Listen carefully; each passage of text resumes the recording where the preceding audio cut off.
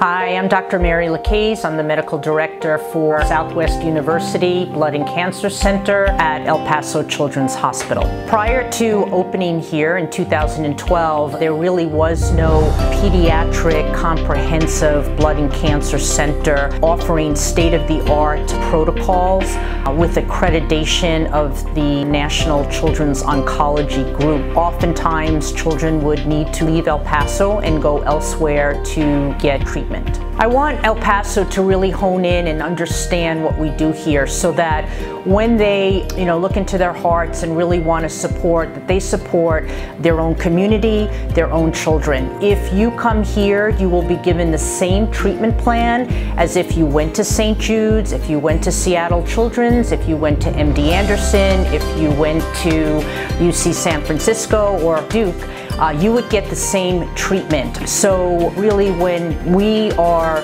looking for support and financial donors, we want to keep the money here in El Paso to help our children in any way we can because families really have a tremendous hardship when a diagnosis of cancer is given. It turns the entire family's world upside down. The way that we can help them is to support this program and keep our monies here in El Paso where we best can serve our children and our families.